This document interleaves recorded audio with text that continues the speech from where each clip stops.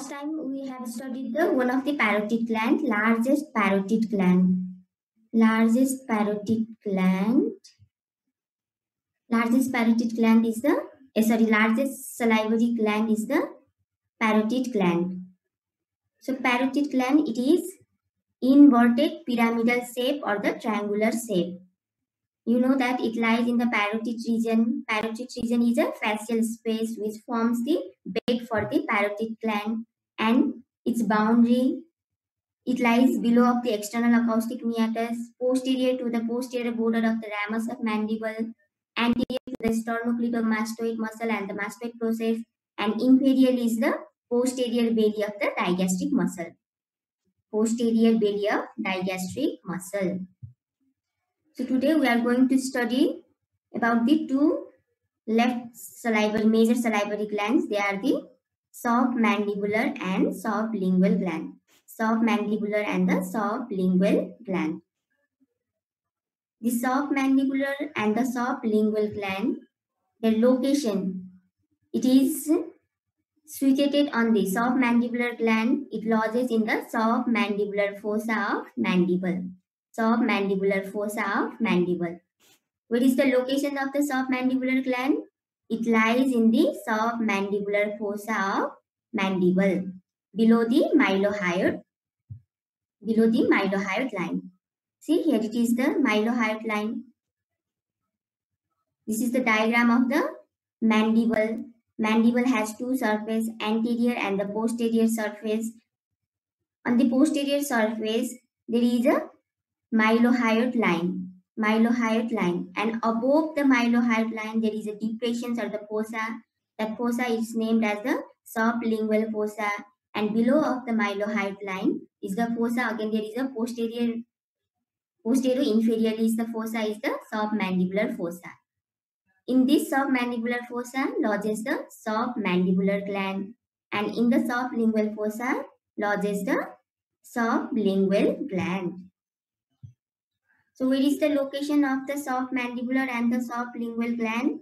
submandibular uh, gland is present in submandibular fossa. Of mandible. and um, lingual Uh, sublingual, say sub uh, sublingual fossa of the mandible. antero superior of the mylohyoid line and submandibular fossa is present infero posterior of the mylohyoid line. Submandibular fossa, sublingual fossa, submandibular fossa lodges the submandibular gland and the sublingual fossa it lodges the sublingual gland. Now the submandibular gland, this is the large salivary gland. Large salivary gland is the submandibular gland and the largest is largest is parotid gland. Parotid gland is the largest gland and the larger salivary gland is the submandibular gland. And where it is present? It is present in the submandibular fossa. In the anterior part of the digastric triangle. In the anterior part of the digastric triangle. And this this submandibular gland it is the its shape it is walnut. It is a walnut in shape shape is walnut shape it has a walnut shape. And the size of the submandibular gland it is about 10 to 20 grams. 10 to 20 grams. Shape of the submandibular gland is walnut shape. And see in this diagram here this is the parotid gland. It is walnut shape walnut shape and this su- submandibular gland it is divided into the two parts by the posterior border of the mylohyoid muscle. Mylohyoid muscle divides the submandibular gland into two parts. One is the superficial part larger is the superficial part and the smaller one is the deep part of the submandibular gland submandibular gland walnut in shape 10 to 20 grams larger salivary glands location it is in the submandibular fossa of the mandible, which is present in the anterior part of the digastric triangle. And this submandibular gland, it is divided into the two parts, superficial and the deep part by the mylohyoid muscle. Mylohyoid muscle divides the gland into the two parts. Superficial is the larger part and the deep part is the smaller one. Understood? See, J-shape indented by the posterior border of the mylohyoid, which divides the submandibular gland into the two parts, superficial and the deep part. Superficial is the larger part, whereas the deep one is the smaller part. Now the superficial part, here this is the superficial part and deep to the mylohyoid muscle is the deep part. Superficial part and the deep part. Now this superficial part, it presents the three surfaces. Three surfaces, they are the lateral surface, opposite to the lateral surface, the part of the superficial gland which is directing towards the or the facing towards the mylohyoid is the medial surface and towards the neck is the inferior surface. So it consists of the three surface. Lateral surface, medial surface and the inferior surface. Inferior surface and two ends. Anterior end and the posterior end. Anterior end and the posterior end. Anterior end. So what is the relations of the anterior end of the superficial part of submandibular gland? It is the anterior belly of the digastric muscle. Digastric muscle has two belly, anterior belly and the posterior belly. So anterior end, it is related with anterior belly of digastric muscle. And posterior end, it is related with the stylomandibular ligament. Stylomandibular ligament. And this stylomandibular ligament separates the parotid gland from submandibular gland. Which ligament separates the parotid and the submandibular glands? Stylomandibular ligament. Stylomandibular ligament. How stylomandibular ligament is formed? It is formed thickening of the Deep layer of the false capsule of the parotid gland. Deep layer of the investing layer of the deep cervical fascia of the parotid gland. So stylomandibular ligament, it separates the parotid gland from the submandibular gland. See here it is the submandibular gland. It lodges in the submandibular fossa, submandibular gland. Lodges in the submandibular fossa of mandible bone. Has two parts, superficial and the deep part divided by the posterior border of the mylohyoid muscle. Posterior border of the mylohyoid muscle divides the gland into the two parts, superficial part and deep part. Superficial and the deep part. Now this superficial part, what are the presenting parts of the superficial part?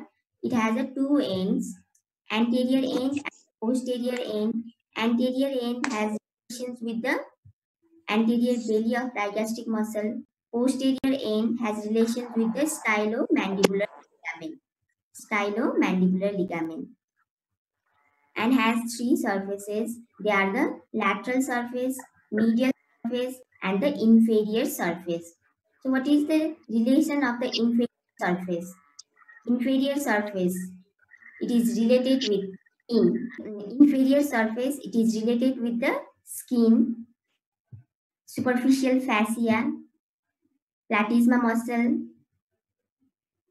cervical branch of the facial nerve, submandibular glands, and it is crossed by the common facial vein. What is the relations of the inferior surface? First one is the skin. Inferior surface. It is directed towards the neck or the floor of the mouth. What is the relations of the inferior surface of the submandibular gland? It is related with skin. Superficial fascia containing the platysma muscle. Submandibular lymph nodes. Submandibular lymph nodes. Then it is crossed by the common facial vein. Common facial vein. And it is also related with the cervical branch of facial nerve. Cervical branch of facial nerve. Clear? So what is the relations of the lateral surface of the gland? Here this is the lateral surface. So lateral surface it is related with facial artery and the submandibular fossa of mandible. See relations, it is related with the facial artery and the submandibular fossa of the mandible. Lateral surface, it rests on the submandibular fossa. And this facial artery, it turns downwards and forwards, loops around the lower border of milo, uh, sorry, mandible and it runs on the face. It runs upward towards the face. So here it is the relations of the lateral surface of submandibular gland are facial artery and the submandibular fossa of mandible. Inferior relations, skin, superficial fascia, platysma muscle, common facial vein and the nerve is the cervical branch of the facial nerve. Cervical branch of the facial nerve. Now, what is the medial relation of the superficial part of the uh, submandibular gland? Can anyone answer? Relations. What is which muscle is this? Mylohyoid. Mylohyoid. So, my relation, medial relation is the mylohyoid muscle, stylo glossus, stylopharyngeus, hyoglossus, hyoglossus muscle, then the lingual nerve, submandibular ganglion, glossopharyngeal nerve, hypoglossal nerve. These all are the relations of the medial surface of the superficial part of the gland. Clear? Lateral relations of the superficial part of the gland. What are the relations of the lateral surface? facial artery and submandibular fossa. Mandibular fossa of mandible. Then inferior surface, relations of the inferior surface. Skin, superficial fascia, and muscle. Common facial vein. The common facial vein. Mandibular and lymph nodes. Cervical branch of facial. Medial relation. Mylohyoid muscle, stylopharyngeus, styloglossus, glossopharyngeal nerve, lingual nerve, hypoglossal nerve, submandibular ganglion. These are the relations, medial relations of the superficial part of the submandibular gland. Now the submandibular gland has a duct. That duct it is named as the submandibular duct or the Wharton's duct. What is the another name for the parotid duct? Stenson's duct. Stenson's duct. So mandibular duct also called as the Wharton's duct. Okay, Wharton's duct or the submandibular duct. Where does it open? We have studied in oral cavity. So the length of submandibular gland it is also the 5 centimeter. The parotid duct, the, the length of the parotid duct it is also the 5 centimeter. And the duct. See here, this green color is the parotid duct. Uh, sorry, a submandibular duct. Here, this above is the parotid duct, and here this smaller one is the submandibular duct. Submandibular duct. Submandibular duct. See, submandibular duct. So this uh, submandibular duct it emerges from the middle of the deep part of the submandibular gland. Here, this is the deep part of the submandibular gland. Yes or no? This is superficial part. Here it is the deep part. So, submandibular duct, it arises from the medial surface of the deep part of the submandibular gland. And it runs forwards by the hyoglossus muscle. Hyoglossus muscle. It runs forward on the hyoglossus muscle between the hypoglossal nerve and lingual nerve between the two nerves, those nerves are the hypoglossal and the lingual nerve. And at the anterior border of the hyoglossus muscle, it is crossed by the lingual nerve. Lingual, it is crossed by the lingual nerve at the anterior border of the hyoglossus muscle. It is crossed by the lingual nerve. And it runs medially in between the mucous membrane and the hyoglossus muscles to open in the to open in the Sublingual papilla. Papilla. lingual papilla which is present on either sides of the which is present on either sides of Frenulum of tongue. frenulum of tongue or the frenulum linguae. So, course of the submandibular duct is 5 centimeter in long, emerges from the anterior part of the anterior or uh, middle of the deep part of the submandibular gland. It runs forward through the hyoglossus muscle, lies between the two nerves. They are the hypoglossal and the lingual nerve. At the anterior border of the hyoglossus muscles, it is crossed by the lingual nerve and it opens on the floor of the mouth on the summit of the sublingual papilla. Clear? Now the blood supply. Arterial supply of the submandibular gland, it is supplied by the facial and the lingual arteries. Facial and the lingual arteries. These arteries are the branches of external carotid artery. Facial and the lingual artery, these are the branches of the external carotid artery. And the veins corresponds with the arteries. They are the facial vein and the lingual vein which drains in the internal jugular vein. Venous drainage corresponds the arteries. They are the facial and the lingual vein and drains in the internal jugular vein. Lymphatic drainage. It drains on the submandibular lymph nodes and therefrom it drains into the jugulo-digastric lymph nodes. Submandibular glands, submandibular lymph nodes. And from submandibular lymph nodes, it drains on the jugulo-digastric lymph nodes. Jugulo-digastric lymph nodes. Now the nerve supply. Nerve supply is same as the parotid gland.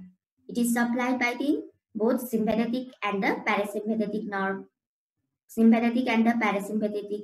And these are the secretomotor to the glands. Sympathetic and the parasympathetic are secretomotor to the glands. On stimulations of the parasympathetic nervous system, it produces the watery secretion, whereas on stimulations of the sympathetic nervous system, it produces the viscous mucus rich mucus rich fluid or the thick mucus rich fluid. Parasympathetic watery secretion, whereas it secretes the thick mucus rich fluid. In addition, the sympathetic nervous system, they also provides the vasomotor to the glands. Secretomotor, both the sympathetic and the parasympathetic, but the vasomotor is only the sympathetic nervous system. Or the sympathetic fibers are only the, uh, uh, in addition secretomotor, it also provides the vasomotor to the glands. Vasomotor to the glands. So what is the pathway for the parasympathetic nerve fibers? Do you remember the pathway of the um, parasympathetic nerve fibers of the parotid gland? From where it arises, preganglionic, postganglionic fibers. Preganglionic fibers, it arises from Inferior salivatory. Salivatory nucleus. the nucleus in the medulla oblongata. And it passes successively through the tympanic branch of the glossopharyngeal nerve, tympanic plexus, and petrosal nerve, and it relay into the otic ganglion. From there, the postganglionic fibers arise and it reaches the gland via the auriculotemporal nerve. Now here, the preganglionic in case of the submandibular as well as the sublingual gland. The nerve supply of the submandibular sublingual gland, it is same. It is same. So what is the pathway for the parasympathetic fibers? For the submandibular and the sublingual gland. The parasympathetic, uh, the preganglionic fibers, it arises from superior salivatory nucleus in the pons. In case of the parotid gland, inferior salivatory nucleus in the medulla oblongata.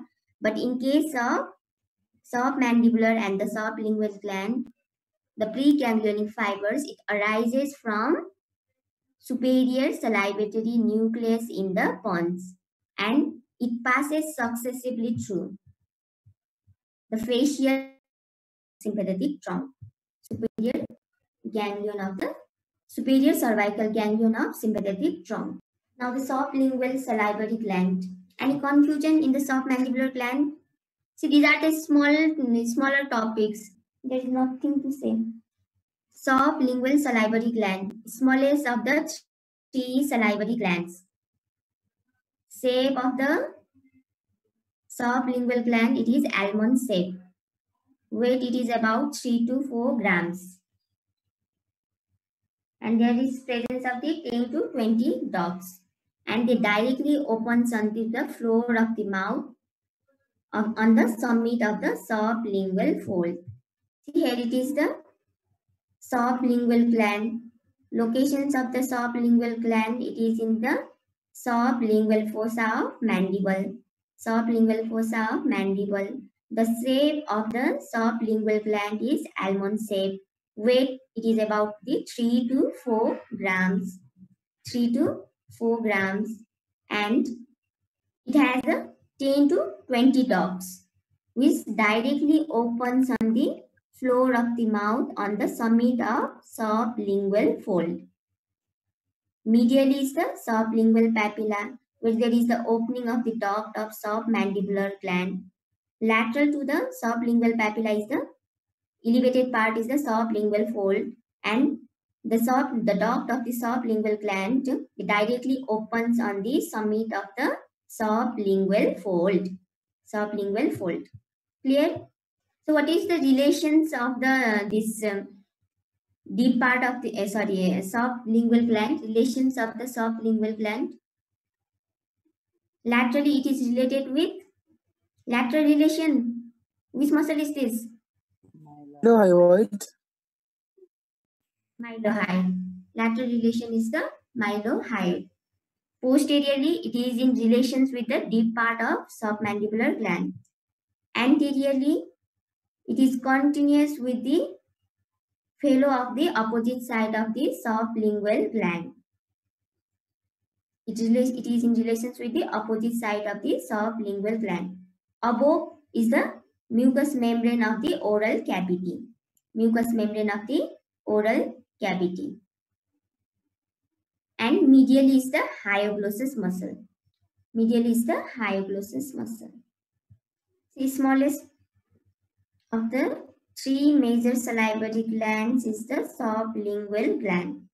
Shape of the sublingual gland is almond shape. Weight it is about the 3 to 4 grams. And this gland has 10 to 20 ducts which directly opens into the floor of the mouth on the summit of the sublingual fold. And the duct of the sublingual gland it is also known as the ducts of Bartholin. Wharton's duct is the submandibular duct. Duct of the submandibular gland is also called as the Wharton's duct or the submandibular duct. So, the other name for the sublingual duct is ducts of Bartholin. Bartholin. Stenson's duct, parotid duct, then submandibular duct, Wharton's duct, Bartholin duct, or the duct of the Bartholin is the duct of sublingual gland. Now the blood supply. They are supplied via the lingual and the submental arteries. Lingual and the submental arteries. Venous drainage, again it drains into the internal jugular vein. Lymphatic drainage, it drains on the submental as well as the submandibular lymph nodes. Submental and submandibular lymph nodes. Not supply, it is same as the submandibular gland. Supplied by the sympathetic and the parasympathetic. They are secretomotor to the glands. In addition, the sympathetic, they are vasomotor to the glands. You know the pathway for the sympathetic as well as the parasympathetic nerve fibers. How they arise, from where they arise, and how they passes to the ganglion. From there, the postganglionic fibers arise. It is clear to everyone now? Ma'am, Hmm? Yes or no? So what is Frey syndrome? I told you to study the Frey syndrome. What is Frey syndrome? Frey syndrome.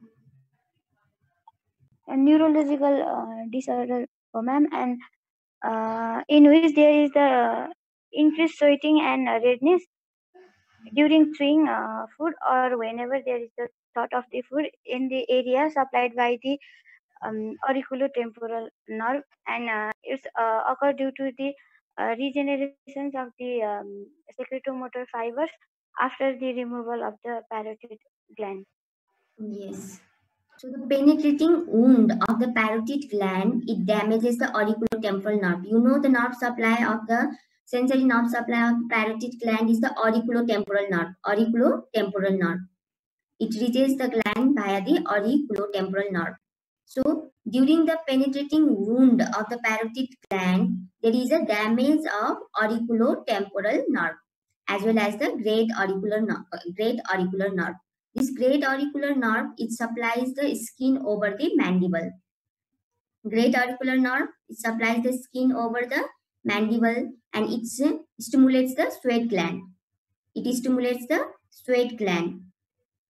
Whereas the functions of the auriculotemporal nerve is to is a secretomotor to the parotid gland.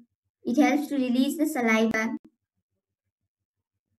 So, during the process of the healing, the secretomotor fibers of auriculotemporal nerve, it grows out and join with the distal end of the auricular nerve. Join with the distal end of the auricular nerve, through which the fibers reach the sweat glands in the facial skin. Great auricular nerve, it supplies the skin over the mandible and stimulates the sweat gland. Therefore, when the patient eats, beads of perspiration appear on the skin covering the parotid gland. Because of the stimulation indebted to the salivary secretion produces the sweat secretion instead. Such an interesting complication during the healing of the penetrating wound of parotid gland is known as the Frey syndrome. Understood? What is Frey syndrome?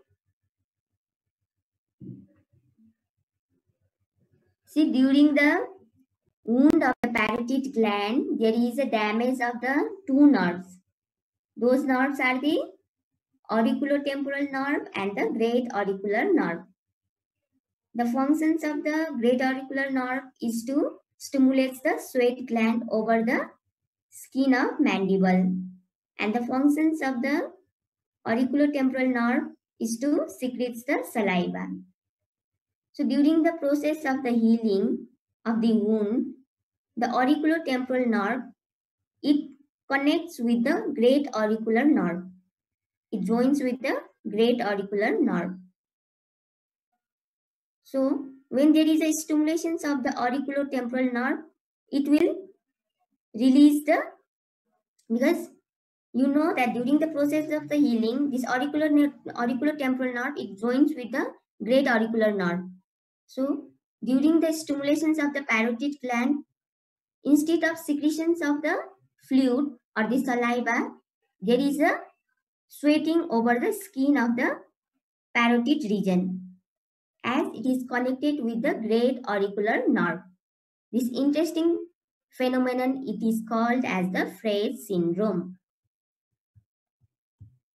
Clear? So you have to remember the two nerves, great auricular, mm, great auricular nerve and the auriculotemporal nerve.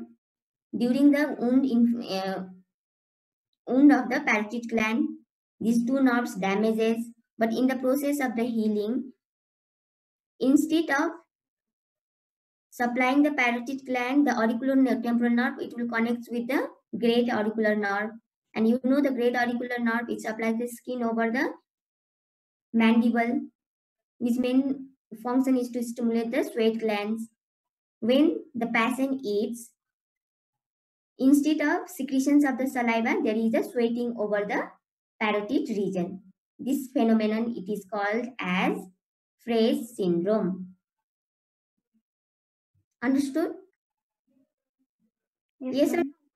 Last time also we discussed the microscopic anatomy of the parotid gland, submandibular gland as well as the sublingual gland.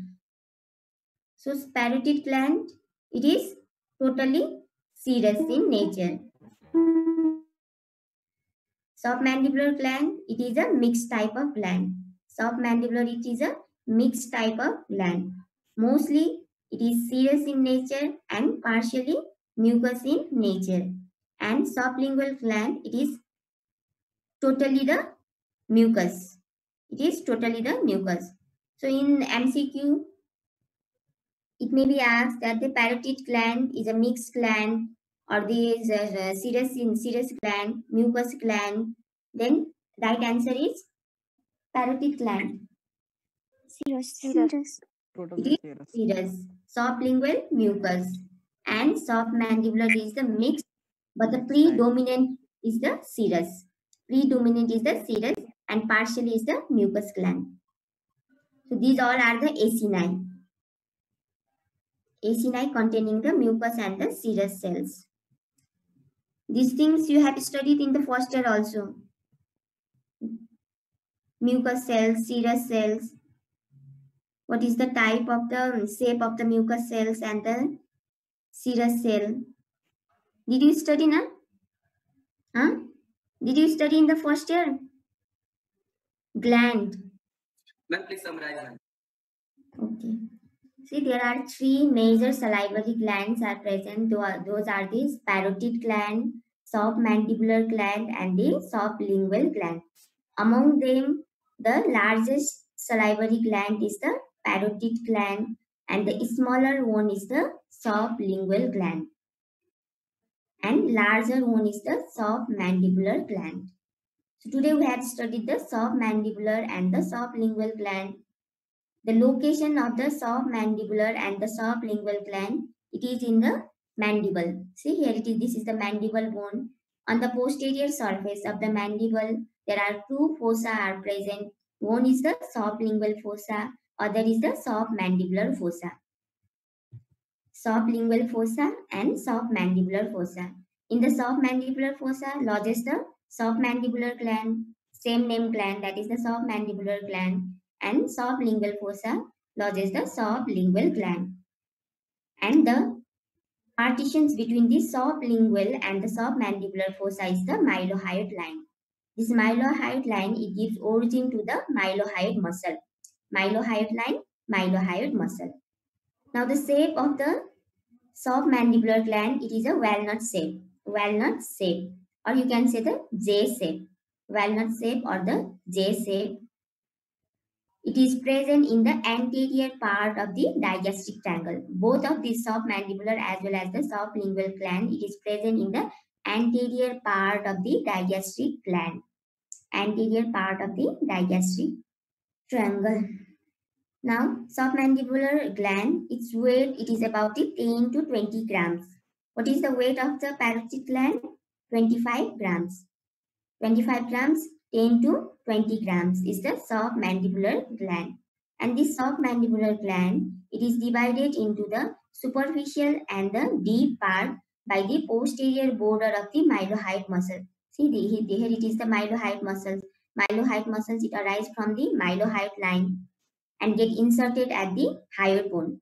Mylohyoid. Mylohyoid muscles, its origin, it is from the mylohyoid line and get inserted into the hyoid bone. So the posterior border of the mylohyoid muscle divides the submandibular gland into the two parts, superficial part and the deep part. Superficial part is shown in the diagram clearly that it is larger one. Superficial is the larger, whereas the deep part is the smaller, smaller one. Now this superficial part has two ends, anterior end and the posterior end. Anterior end and the posterior end. Anterior end, it is in relation with the anterior belly of digastric muscle. Anterior belly of digastric muscle. Posterior end, it is in relation with the stylomandibular ligament. Stylomandibular ligament. And this ligament separates the parotid from submandibular gland. Now it has a three surfaces, lateral surface, medial surface and the inferior surface. Lateral surface, medial surface and the inferior surface. Inferior surface. What is the relations of the inferior surface? Skin, superficial fascia, platysma muscle, then the cervical branch of the facial nerve, common facial vein, submandibular lymph nodes. These are all are the relations of the inferior surface of the superficial part of submandibular gland. Now lateral surface. Lateral surface as it is in as it lodges in the submandibular fossa of the mandible. Its relation it is the same. That is the submandibular fossa of the mandible. And in between the submandibular fossa, in between the in between the submandibular fossa as well as the lateral surface of the gland, it is intervened by the facial artery. Facial artery. Now the lateral, uh, sorry, medial surface. So what is the relations of the medial surface? It is related with mylohyoid, hyoglossus, styloglossus, stylopharyngeus, glossopharyngeal nerve, hypoglossal nerve, lingual nerve, submandibular ganglion. These are the relations of the medial, surf, uh, medial surface of the superficial part of submandibular gland. Clear?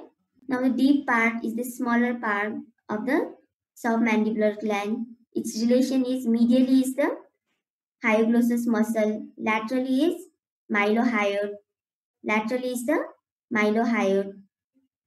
Superficial above is the lingual nerve and below is the hypoglossal nerve. Hypoglossal nerve. So the relations of the deep part of the submandibular gland. Laterally is mylohyoid muscle. Medial is the hyoglossus muscle. Above is lingual nerve. And below it is related with the hypoglossal nerve. So what are the parts of the submandibular gland? Superficial and the deep part. Superficial and the deep part divided by Yes, mylohyoid muscle. posterior border of the mylohyoid muscle. Do you know the relations of the superficial part of the submandibular gland? It has the different parts, different relations, three surfaces, ends. The anterior end is uh, related to the anterior belly of the digastric muscle, and the posterior part is uh, related to the um, stylomandibular ligament. Um, out of its three surfaces, the inferior surface um, is um, related to the skin superficial fascia, uh, Mm. platysma muscle, cervical branch of the uh, facial um, nerve, um, and it, it is also crossed by the common facial vein uh, and the submandibular uh, lymph nodes. And lateral surface is related to the facial artery and the submandibular fossa, and mm, medial surface is related to the uh, mylohyoid muscle, uh, lingual nerve, hyoglossus uh, nerve, and glossopharyngeal nerve. So what is that uh, ganglion? What is ganglion? What do you understand by ganglion? Define ganglion. of the, junctions Yeah. of the nerve. There is the nuclei and the ganglion. What is the difference between the ganglion and the nuclei? Collections of the nerve fibers outside inside the CNS. Cell bodies are the uh, nerve fibers. Cell bodies, no? cell body. Mm. Collection of the cell bodies outside of the central nervous system is a ganglion, Ganglion. and the central nervous system is the nuclei. Do you have question?